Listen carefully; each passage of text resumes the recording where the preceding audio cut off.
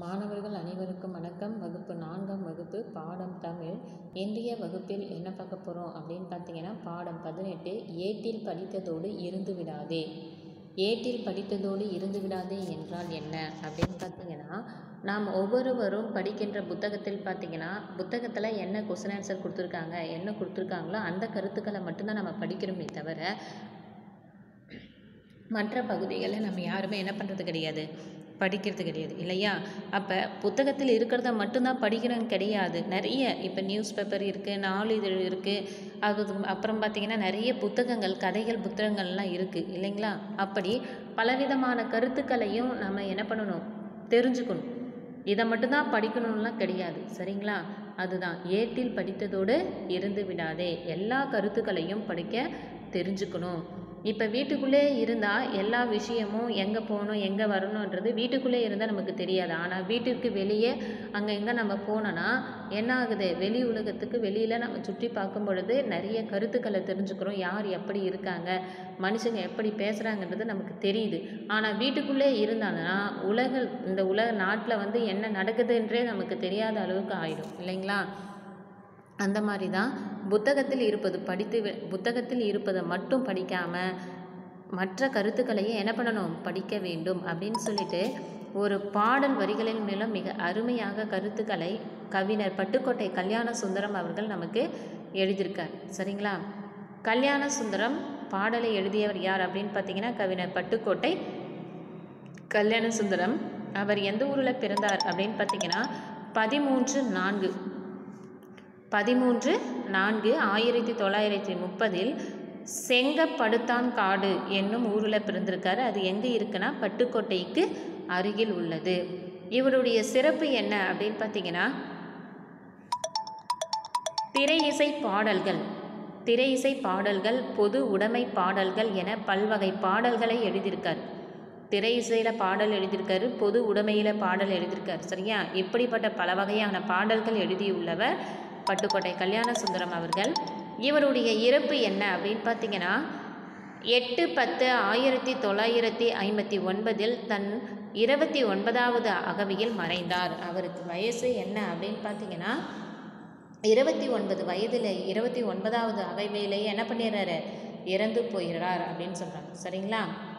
இந்த பாடலை எழுதியவர் பட்டுக்கோட்டை கல்யாண சுந்தரம் ஏட்டில் படித்ததோடு இருந்து விடாதே நீ ஏன் படித்தோம் என்பதனையும் மறந்து விடாதே குழந்தைகளை பார்த்து மாணவர்களை பார்த்து என்ன சொல்கிறான்னா மாணவர்களே நீங்கள் ஏட்டில் படித்ததோடு இருந்து விடாமல் நீங்கள் படிக்க நீங்கள் ஏன் எதற்காக படிக்கின்றோம் என்பதனையும் என்றைக்குமே என்ன பண்ணக்கூடாது?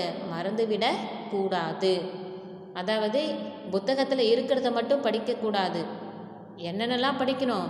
ஏன் நாம் எதுக்காக படிக்கிறோம்? இப்போ எல்லாருமே படிக்கிறதுனா பார்த்தீங்கன்னா ஏதாவது ஒரு வேலைக்கு போகணும் என்பதற்காக தான் எல்லாரும் படிக்கிறது சரிங்களா? அப்போ நம்ம புத்தகத்தில் இருக்கிறத படி புத்தகத்தில் இருக்கிறத மட்டும்தான் படிக்கிறதுன்னு இல்லை ஏன் எதுக்காக நம்ம இப்பொழுது படிக்கிறோம் என்பதை என்றைக்குமே என்ன பண்ணக்கூடாது? மறந்துவிடக்கூடாது நாட்டின் நெறி தவறி நடந்து விடாதே நம் நல்லவர்கள் தூற்றும்படி வளர்ந்து விடாதே. நாட்டில் நாம் படித்ததற்கான அர்த்தங்கள் இருக்குது நிறைய இருக்குது இல்லையா? அதனால் நாட்டினுடைய நெறி தவறி என்றைக்கும் நடந்துவிடக்கூடாது நம் நல்லவர்கள் தூற்றும்படி வளர்ந்துவிடக்கூடாது என்று இந்த பாடல் வரிகளின் மூலம் சொல்லியிருக்கார். சரிங்களா? அதுக்கப்புறம் மூத்தோர் சொல் வார்த்தைகளை மீறக்கூடாது பண்பு முறைகளிலும் மொழித்தனிலும் மாறக்கூடாது. மூத்தவர்கள்னால் வயதானவர்கள். நம்முடைய வயதானவர்கள் தாத்தா பாட்டிலாம் இருப்பாங்க இல்லையா? அப்போ மூத்தோர் சொல் வார்த்தைகளை என்றைக்குமே நம்ம என்ன பண்ணக்கூடாது? மீறவே கூடாது. ஒரு சிலர் நீ என்ன சொல்கிறது நான் என்ன கேட்குறதுன்ற மாதிரி நம்ம போய்கிட்டே இருப்போம். அந்த மாதிரி இல்லாமல் பெரியவங்க வந்து நம்முடைய நல்லதுக்கு தான் சொல்கிறாங்க என்ற கருத்தில் கொண்டு என்ன பண்ணணும்? அவர்களினுடைய வார்த்தைகளை என்றைக்குமே மீறக்கூடாது. எல்லா பண்பு முறைகளிலும் மொழிகளிலும் என்றைக்குமே நம்ம மாறக்கூடாது. நம்முடைய பண்பு இப்போ ஆரம்பத்துலேருந்து நல்லா வளர்ந்துக்கிட்டே வருவாங்க. திடீர் நடுவில் யாராவது சொல்கிறத கேட்டு என்ன பண்ணுவாங்க?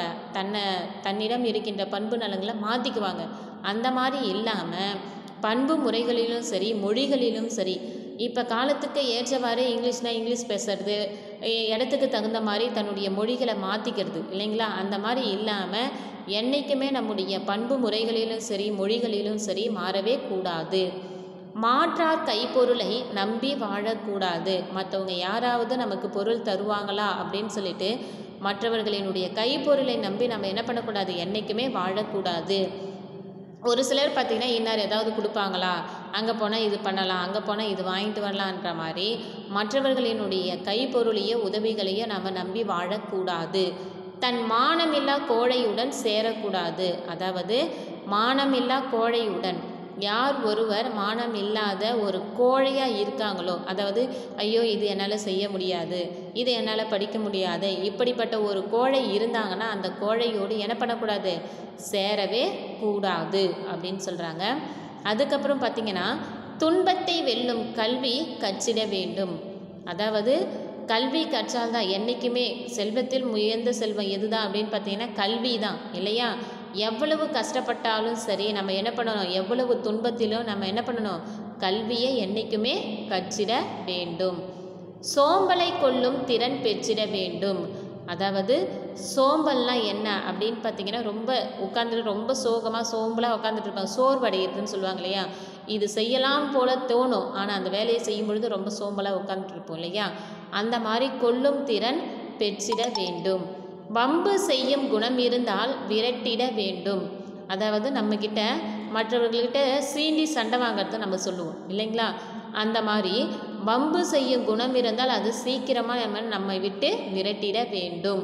அறிவு வளர்ச்சியிலேயே வான்முகத்தை தொட்டிட வேண்டும். மாணவர்களே நம்ம நாம் ஒவ்வொருவிடமும் எப்படிப்பட்ட குணநன்கள் இருந்தாலும் வம்பு செய்யும் குணம் இருந்தால் அது சீக்கிரமாக ஒழித்திட வேண்டும். அறிவு வளர்ச்சியிலேயே வான்முகட்டை தொட்டிட வேண்டும் அப்படின்னு சொல்கிறாங்க சரிங்களா?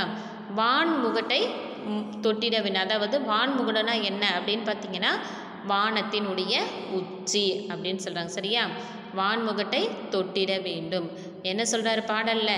ஏட்டில் படித்ததோடு மற்ற கருத்துக்களை படிக்க வேண்டும். நாட்டினுடைய நெறி தவற தவறவிடாமல் நல்லவர்கள் தூற்றும்படி வளர்ந்த வேண்டும். மூத்தவர்கள் சொல்லும் வார்த்தைகளை கேட்க வேண்டும். எல்லா முறைகளிலும் மொழிகளிலும் மாறக்கூடாது. மற்றவர்களினுடைய கைப்பொருளை நம்பி வாழக்கூடாது. மானம் இல்லாத ஒரு கோழையுடன் சேரக்கூடாது.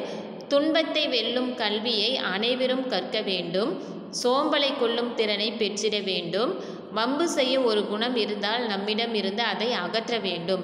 அறிவு வளர்ச்சியிலேயே வான்முகத்தை தொட்டிட வேண்டும் என்று என்ன பண்ணுறாரு இந்த பாடல் வரிகளின் மூலம் மிக அருமையாக பட்டுக்கோட்டை கல்யாண சுந்தரம் நமக்கு எழுதியிருக்கார். சரியா?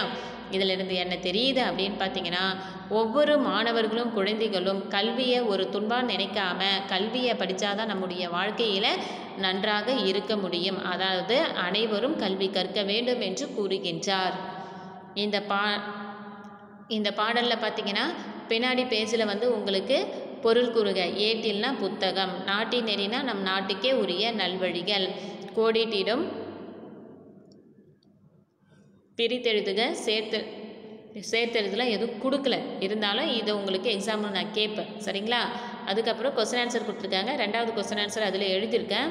தன் மானமில்லா கோழையுடன் என்ன பண்ணக்கூடாது? சேரக்கூடாது. அதுக்கப்புறம் மீதி கொஸ்டின் ஆன்சர்லாம் நோட்டில் எழுதி உங்களுக்கு என்ன பண்ணியிருக்கேன் எழுதியிருக்கேன் சரிங்களா? இதை படிச்சுக்கோங்க.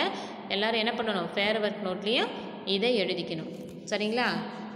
நன்றி.